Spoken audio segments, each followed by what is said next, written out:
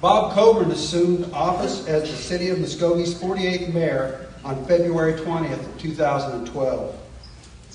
Bob was born in Altus, Oklahoma, and moved to Muskogee in 1960 for his dad to become involved with Coburn Optical. He attended Longfellow Elementary, West Junior High, and graduated from Central High School in 1970. He then attended Northeastern State College and Connors State College. He married Gwen Ammons and has two children and four grandchildren. He lived and worked in Virginia and Arkansas with Coburn Optical for 10 years. Bob came back to Muskogee in 1983 buying Coburn Tuxedo and then A. Aveni Self Storage in 1998. He is a deacon at First Baptist Church. He has served on the Muskogee City Council, the Board of Directors for McCoy's, City Muskogee Foundation, Muskogee Port Authority, and the Muskogee Chamber of Commerce. He is on the Chamber's Tourism and Vision Committee, and he has previously served as the president of Rotary. Please join me in welcoming Mayor Bob Coburn.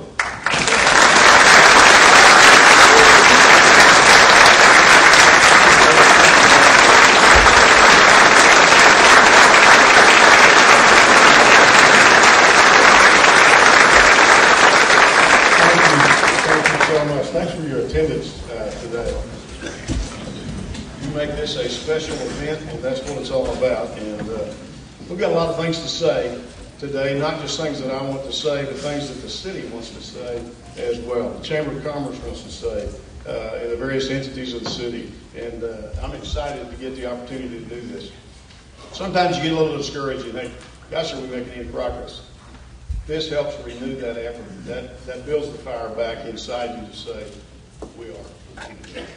And I'm pleased to say that, that uh, we are. Let me introduce a couple of people uh, along the way. My wife, Gwen, if she would stand. My daughter, Jenny.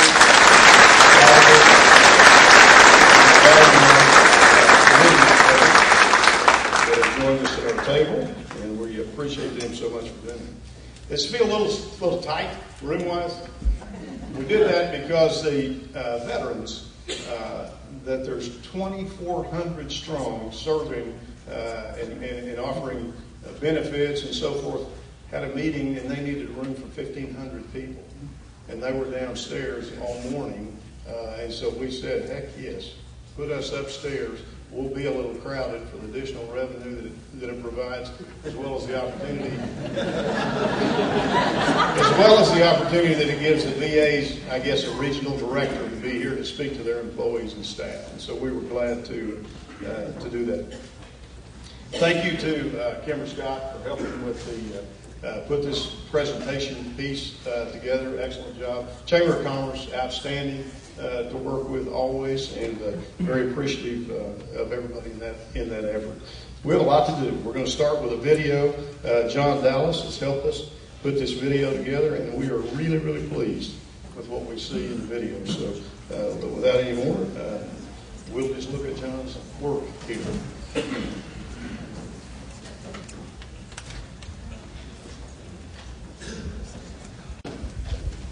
Uh, let me introduce a couple of people to you uh, that are really not new to Muskogee.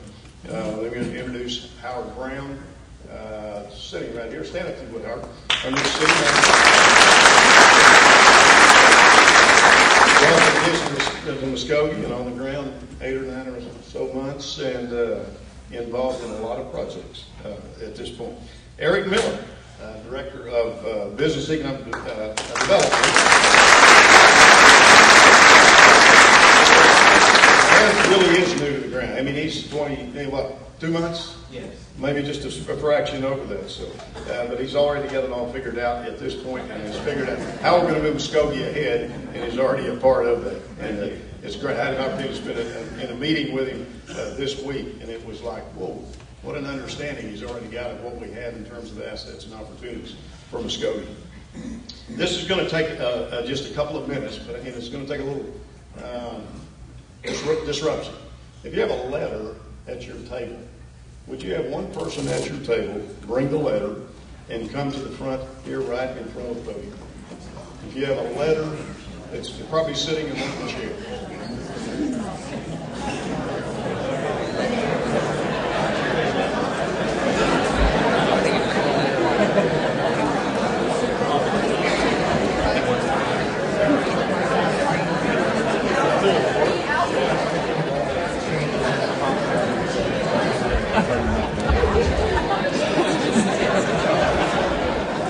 Need to do this fairly quickly. Come on.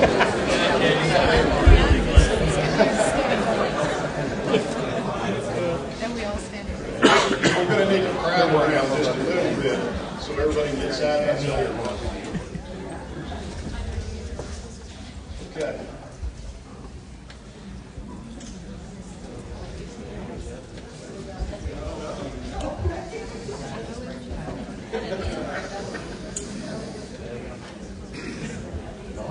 Okay.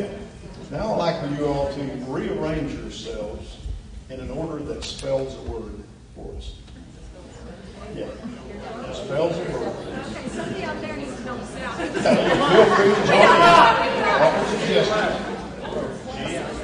Hold, yeah, hold the letters up so everybody can see what you got.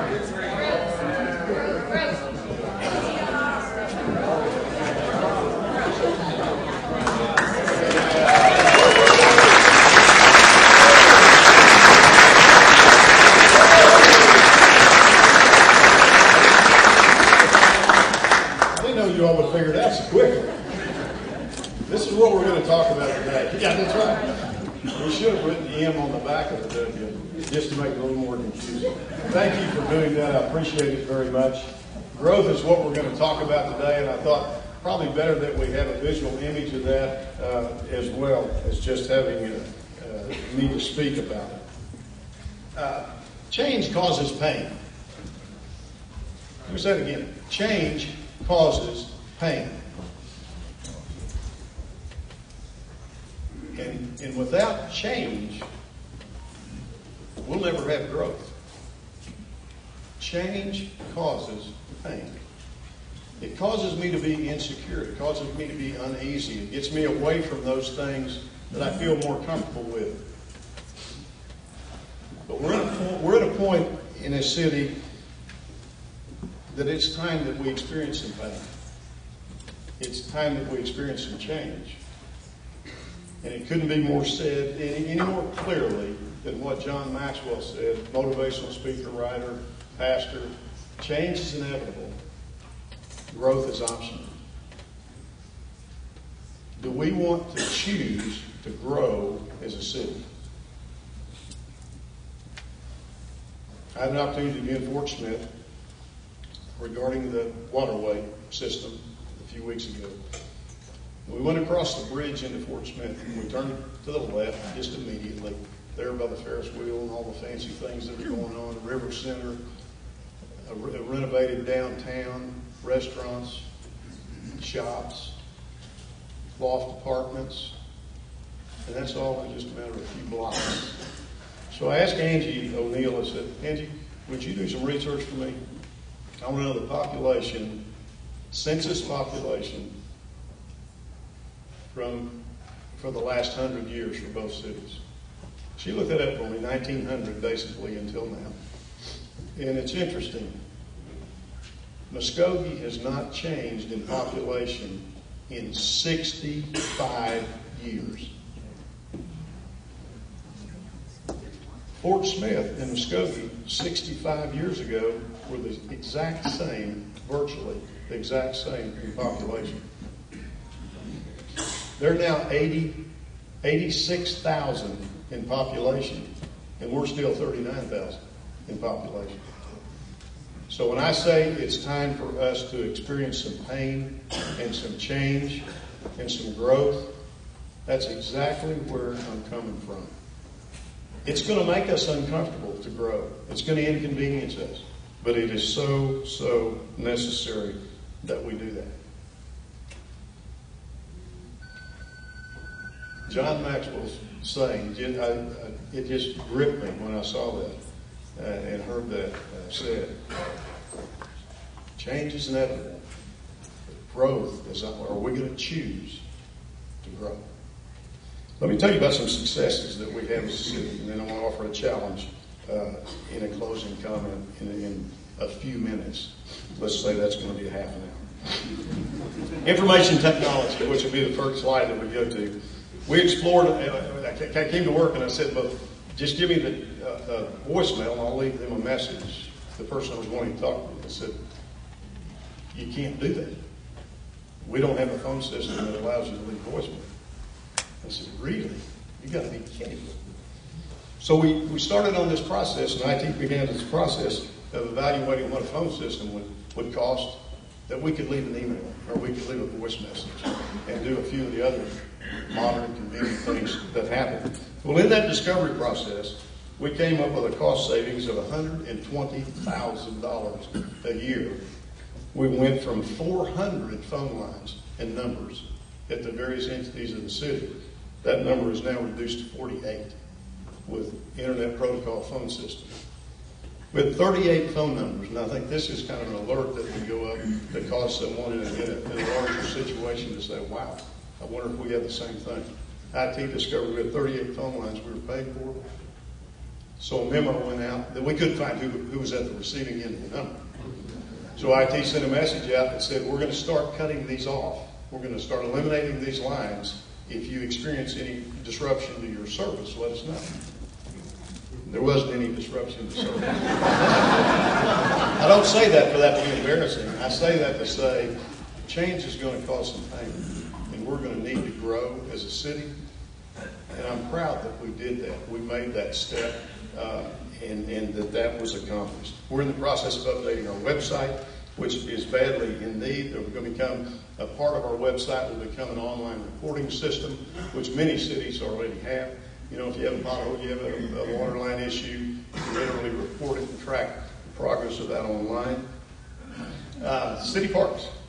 Hatbox uh, Park and Sports Complex Master Plan was approved September 2014. Uh, and it's a pretty aggressive plan for us. And there's a board somewhere around it, uh, around the room that will have uh, uh, the full plan for the 425 acres that there is at Hatbox. We utilize, you know, kind of uh, a third to a half. There's another third to a half that needs to be developed, and that's a process that we're going through, and I think you will find that to be an exciting process. We're going to need to discover, discover in that process where to come up with about 35 or 40 million dollars to make that happen. That will allow us to have a new expo center. That will allow us to have new sports, some new additions to the sports facilities. Uh, it will allow an agricultural element to happen uh, at that location as well. I know there's a lot of people in the larger community in the county that, that would love to see that happen. Uh, but you could have everything in, in this type of facility at Hatbox from a, uh, from a wedding uh, to a, a Muskogee Hilldale graduation uh, or a barrel race event the next night or a bucking event as well. That's being explored uh, at this at this time, and we're trying to figure out the priorities to make that happen. Honor Heights Park Tourist Destination Plan. There's a plan that's been put together that would require over about a two-year period of time, an opportunity for us to literally rebuild a lot of the uh, the plantings uh, and, and the beauty of the park. Uh, ice storms uh, have been a big issue. Drought has been a big issue. Uh, plants that have out, outgrown their, their, their normal life uh, has been an issue as well. So that is being presented to the City of Muskogee Foundation for potential uh, funding, and we're excited about seeing that potentially happen. The uh, Muskogee Police Department. One of the more exciting things going on in the Muskogee Police Department is, uh, is uh, Taser, Axon, flex cameras, body, body cams uh, for our police officers. It provides additional safety, it provides security, it documents what happens in the event, and then when you download that uh, information, then it's, it's uh, maintained uh, for a period of time in the secure setting. Uh, just normal city of Muskogee operational things. We underwent a complete insurance changeover, uh, guaranteeing to us a complete network savings of four hundred thousand dollars. Pretty interesting. Uh, insurance committee worked hard. Tough decisions were made, and, and but that, that process came forward. Safety is a priority. And, and it's got to become a priority in our training of our employees that work for the city. We need to create what we would refer to as a safety culture. And when I say safety culture, I've had the opportunity to be in, in a couple of manufacturing facilities, Vallourec that was on the screen a minute ago, where their president was being uh, recognized. Every place you look, I mean, you literally can't make a right turn or a left turn without something speaking safety to you in that environment. Uh, Georgia Pacific was the other one opportunity to be in. You literally, every place you go, safety, safety, safety. And interestingly, their results are there to prove that that makes a significant difference. We began a new budgeting process uh, this past year. Our budget totally has a, a different look to it. Uh, whether you read, you, you would read, you would look at numbers, you look at spreadsheets, you would look at, at, at goals, opportunities, challenges. Those things are beginning to emerge in that budget process. So we have, we have a chance to, to look at those, evaluate those, look at them quarterly, look at them annually, challenge uh, of, of department and operations, uh, and it's been an interesting process to go through. It's one that will probably take several years for us to complete, uh, to where we understand exactly what the budget process puts together in terms of a management tool, but we're headed in that direction. We've made that first step. Planning Department, Housing Rehabilitation and Revitalization. We've been and worked on that for uh, quite some time. Provided funding uh, of up to about $20,000 per structure in terms of changing the exterior of a home so we don't get additional dilapidated homes in the community at an alarming rate. At the, at the present time, we probably have 50 structures per year residentially that go onto a, a demolition list uh, for potential removal uh, from the community. Program is funded again by a grant from the City of Muskogee Foundation. Uh, and over the next two-year period, we would anticipate taking down about four to 500 structures and, and literally remove them. It will revitalize and it will add new life into the community and into the neighborhood. And you'll see neighborhoods then begin to uh, revitalize themselves when this effort starts. And you'll see a change in a, cohesiveness begin to develop in neighborhoods. Additionally, the, the demolition plan uh, would create a, a, safer environment, which we're very concerned about, obviously, uh, at, in, in our efforts. Housing incentive program. We developed the housing incentive program because we looked at what happens when you create four or five hundred more vacant lots to go along with the vacant lot inventory that we already have. So there's got to be an incentive program to say, come back and build in this neighborhood, come back and change this neighborhood. And that can, that's not going to just happen naturally without some incentivization. You aren't going to normally just come and buy a lot uh, that's surrounded by several other derelict structures and so forth. So if you get the derelict structures down, then you offer an opportunity, you offer an incentive, you give someone a reason to come back into a neighborhood and build a new house uh, themselves to create an owner-occupied situation, or you give a developer a reason to come back into the neighborhood and say, hey, I'm interested in building 10 or 15 houses and, re- and really changing what this neighborhood looks like. And that process is in, in effect right now, we're getting ready to see how that works out. Uh, inspection and code enforcement. I'm sad to tell you that we continue to spend a half a million dollars a year to say, clean up your neighborhood, clean up your business, clean up your junky lot. I don't know whether that means anything to you, but we spend a half a million dollars a year. And if you give the condition that we're in right now, we're not making great headway at a half a million dollars a year. So should we spend a million dollars a year in terms around just going to clean up the neighborhood, mow your grass, cut your weeds, you know, fix the broken windows? We have 1,100 violations a year that are ticketed down. On the reverse side of that, there's 717 building permits that have been issued, and we've got $53 million worth of work going on in those 1,700. Now, a little bit of a hailstorm helped that. but hey, we'll take it because that creates uh, material sales at the same time, which, which generates additional sales tax revenue. We're in the process of going through the comprehensive land use map and rezoning process, uh, and that is just about complete. That's been a two-year process in planning. Uh, Gary Garvin's department in planning and that group, uh, they have been busy at that for a long time. I know they'll be glad to go, we got that completed. You know, that'll help give us consistency and continuity uh, in our neighborhoods and business areas. Uh, City of Muskogee Foundation had the opportunity, Ernie Gilder, a friend of mine, said, hey, can you go pass out these scholarship presentations? Uh, I'm going to be out of town. I said, sure, I'd like to. I'd love to do that. I went to Hilldale and had the opportunity to change three young people's lives forever. A couple days later, I had the opportunity to go to Muskogee High School and change seven young people's lives forever. That was a quarter of a million dollars that was done. That is now up to a cumulative amount of $900,000 that have been given to Hilldale Muskogee graduates.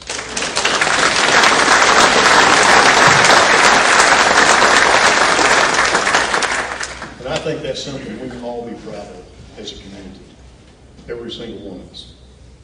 Uh, AIM, thank you to Tim Bolton, thank you to Lisa Wade for chairing uh, the AIM process for us. Thank you to Brian Thorstenberg that brought the idea to us originally to sit down uh, literally in this room over a series of about four or five meetings and had a thousand folks involved in that process to say, where are we as a community?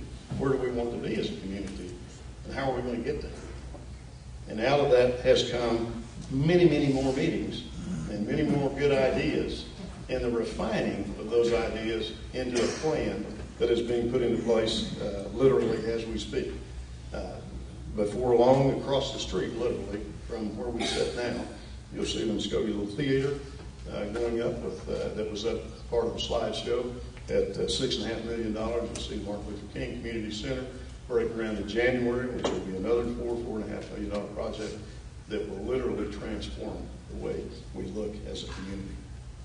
The Oklahoma Music Hall of Fame. A couple of years ago, I said uh, we're either going to do something with the Oklahoma Music Hall of Fame, or we're going to look back sadly and say we missed the opportunity and someone took it away from us.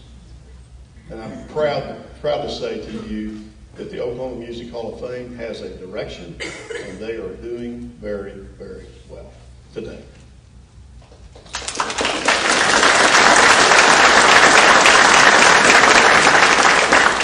Getting ready to come to us with a uh, outdoor music event that's being planned for 2015 or 2016 to literally go out to uh, Hatbox Field area uh, uh, and put an outdoor event together that would literally draw thousands and thousands of people to have an outdoor music event. The, the preparation is being done for that right now. The, the funding is being explored right now. So look for 2015 or 2016 summers that you'll see a huge music event sponsored by the Oklahoma Music Hall of Fame that will be a, really a game changer.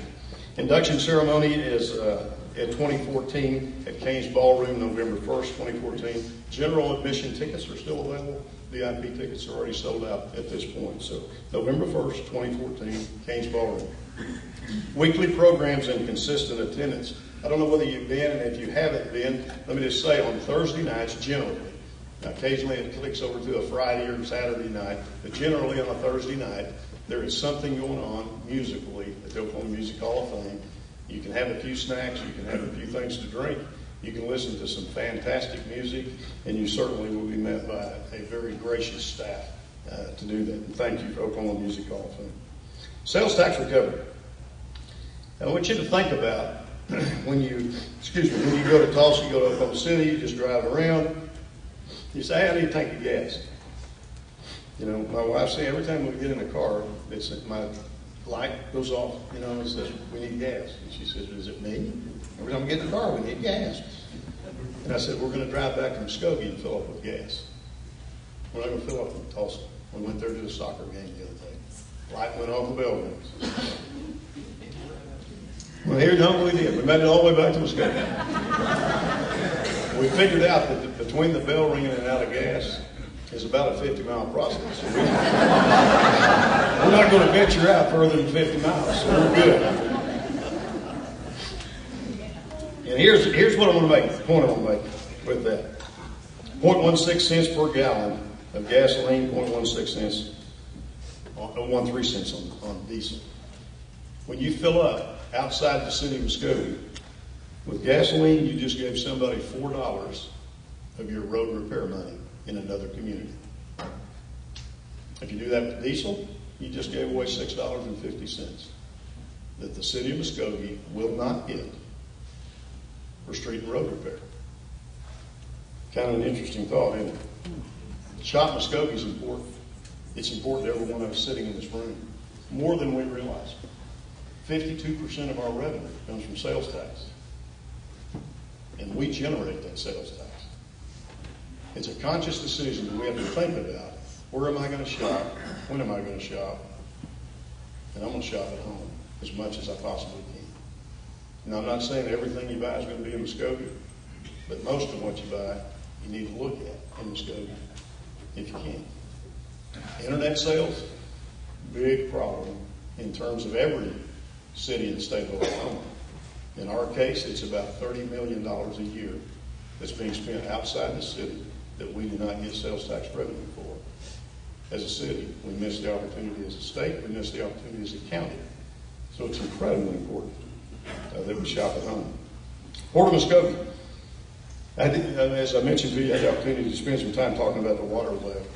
Did you realize the city of Muskogee, the port of Muskogee, is a two billion dollar investment up and down the sides of the river in terms of manufacturing and manufacturing related jobs. Three thousand people who are literally working here because of the port. That job is supported. That produces hundred and fifty million dollars in payroll into this community. And you know, we, we just think about it, we just drove across the bridge there, we looked at the port, and wow, I didn't realize the impact that it has. And we need, we certainly need to capitalize on that every, every way that we possibly can. Educational opportunities. Muskogee, Mike Garde, uh, does a great job in helping this city uh, from the standpoint of moving Muskogee education ahead of Muskogee Public Schools. Uh, made 20, 2013 bond issue passed by 84%. And I think that's a pretty strong uh, recognition by the city and the citizens and the voters to say, that's important to us, and we want to be behind it in terms of changing the educational system in Muskogee in a positive way. To think that 24 people, 2,400 people now have a take-home device through Muskogee Public Schools that they can get rather than a hard copy textbook, a way to communicate, a way to do study and research, uh, and, and I think it's a phenomenal thing. There's 29.9, $30 million of that is facility support, 15.4%, uh, 15.4 million dollars of it is technology. I'm about to get tongue tied.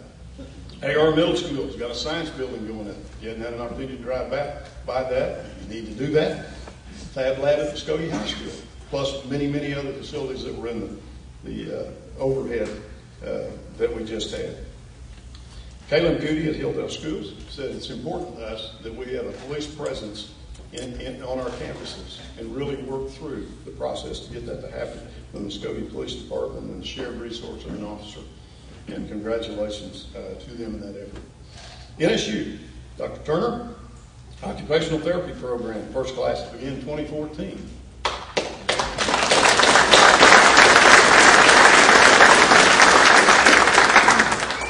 Second class to begin 2015. I thought that was pretty logical. Three-year master's program received a $900,000 grant to begin that program through the City of Muskogee Foundation. Thank you, City of Muskogee Foundation, for impacting this.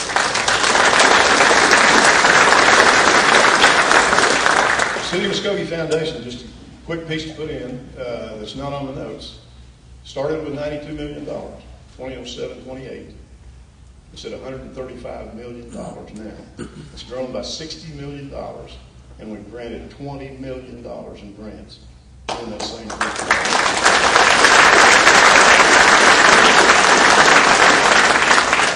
NSU additionally is looking at, in, in partway through the process of a physician assistant program uh, that will really be a game changer in terms of this being a uh, allied health hub for Muskogee, and we're pleased for those efforts.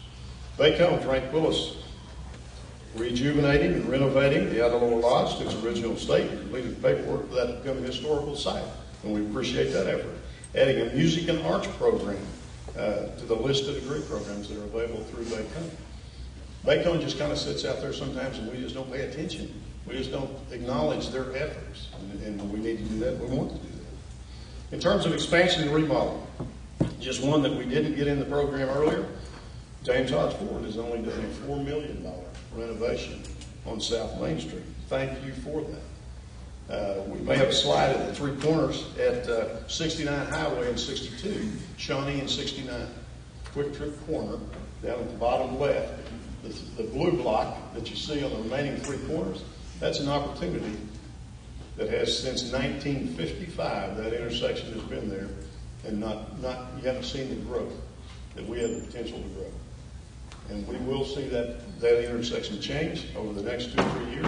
Obviously, with the QuikTrip, you'll see a huge amount of traffic change uh, as that corner continues to develop. And I think you'll see the other three as we move forward. There's a, a significant interest in uh, Shawnee and 69 Highway in Muskogee from outside people looking in saying, we want to be a part of that, the traffic that, it, that is built there. Uh, Bridges for the Future of Muskogee, the initiative by the, by the city, which was taken on by Tom Martindale, who did our prayer a few minutes ago, uh, really has been a game changer. 4,300 families in between 2011 and 2014 have been reduced from poverty level in our community, according to the, Amer- the Bureau's uh, American Community Survey indication. 25.6% uh, to 19.4% in the past two years. They're making a difference in, in Muskogee. And Marvin, where is Marvin? Marvin, stand up just a minute. I'm going to embarrass you just for a second. Marvin and I have become friends over the last couple of years through this program. He has gone from an explorer through that program to figure out what, what that means in his life to a graduate that is now has spent some time in Oklahoma City at a national conference for Bridges Out of Poverty and employed in the community in a significant way and is making a difference. And you can see a smile on his face and you can see a smile on his heart.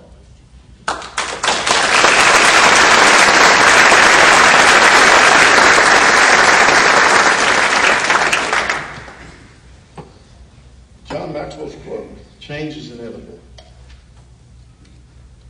Change is inevitable and growth is optional. Where do we go? Do we really want to change? Do we really want to grow as a community? Uh, let me ask you this question and think about this just a second. If we know the problem and if we know the solution, would we as a city have the courage to fix it? Part of that is the change, and the change causes pain, and the pain causes discomfort to us. Would we have the courage to fix it? We seem to know what the problems are, and we know what the solutions are. And we have the opportunity now to make those changes as a community. Two other thoughts, and then we'll close.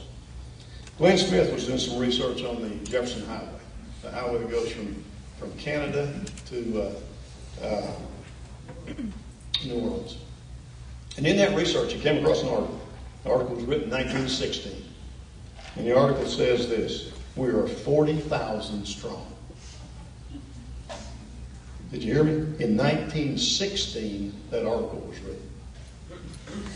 Just as there was beginning to be travel on paved roads, you know, new cars, the experience to be out and about uh, in your vehicle uh, for a vacation travel, 1916, that was said. Uh, the 2015 convention of the Jefferson Highway is going to be in Muskogee next summer. And you'll have an opportunity to learn more about that. But the point I'm making is in 1916, they were so proud of the fact that there were 40,000 strong as a community. George Ladd's personal friend of mine. George moved his medical practice here in 1967. Why he moved his medical practice here from Pueblo, Colorado? As he said, I got a chance to visit Muskogee, and he said, all I could see was it was getting ready to change. In 1967, he made that observation about Muskogee. Things are in place, the stars are lining up. We're about to change as a community. Well, I'm sad to report to you that, uh, you know, 50 years later, in some cases in population, we haven't changed in size. We're not growing. Not growing. So we haven't taken the opportunity, even though we're at the door, we're at that threshold. And my question to you is this, challenge to you is this. Muskogee has the opportunity right now to grow, more than I've seen since I moved back here in 1983. There's more things happening right now that can move us ahead. And my question is this to you. Will you join me as we step forward into growth? Thank you.